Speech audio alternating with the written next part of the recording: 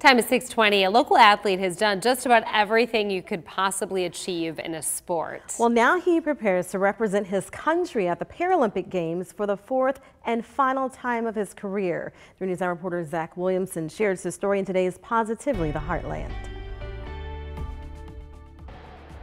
For most of the last year, Josh Turek has been tearing up the nets at the YMCA in Council Bluffs. And I've only seen him miss once until today preparing for something much more than a pickup game at the gym. I mean, this is a full professional sport with full-on athletes that have dedicated their entire life to this. It's unbelievably physical and quick and athletic.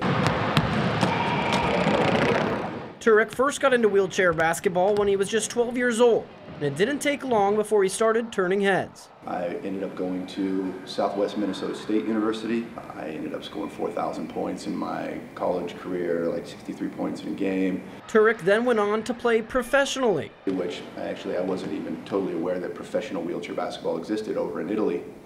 Took the opportunity, played a few years in Milan, uh, played in Spain, played in France. But none of that was the reason he started playing. It was always to wear USA across my chest and to try to win a gold medal for the USA. That, that was day dot, that was, that was what I was looking to do. Turek accomplished that goal, making the Paralympic team in 2004. But it wasn't all smooth sailing for the sharpshooter. We're only taking 12 guys for the entire country and so for six straight years, I tried out and I was cut year after year after year. And I just thought, I'm going to keep coming back. I'm not going to stop. I'm going to keep working and I'm going to get so good eventually that they can't cut me. And he's been a staple on the team ever since, helping the team win a bronze medal in the 2012 Paralympic Games, leading the team in points and rebounds. In 2016, the team was even better, winning the gold medal game over Spain by 18, the closest game they had in the run to the gold medal, and the first gold for the U.S. since 1988. The Paralympics and the Olympics supersede sports because it's bigger than, than just the sporting event itself. It's, it's for your country, it's for to represent your city and your family.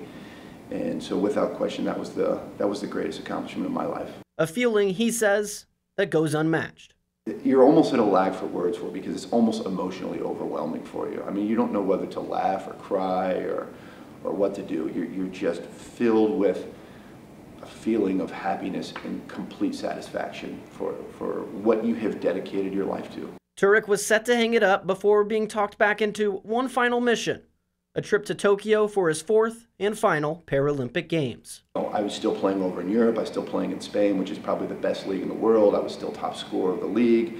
I was All-Star 5, which is, I mean, like, I was playing really, really well. So they asked me to come back and try to do this one more time to repeat.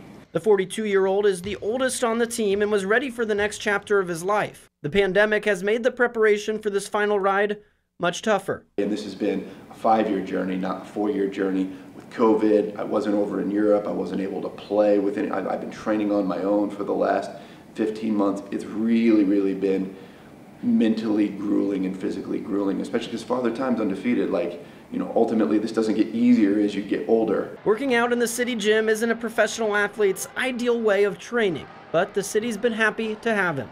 He does make it look easy, and if if you've got the will, you've got the way, and I think he has always followed that. So I'm very, very proud to know him. And he's proud to represent him. Many times Council Bluffs can feel like kind of like the, you know, the, the, the small redheaded stepchild to Omaha.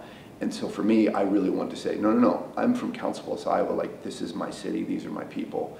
And, and I want to represent them well. And I want to ultimately for them to be proud of me and to be proud of the community and yeah, that, that means a, a great deal to me. For Positively the Heartland, I'm Zach Williamson. We're all proud of him already. Certainly wish him the best of luck. The Paralympic Games get started August 24th. Turek says the USA is in the pool of death with the top four teams all competing.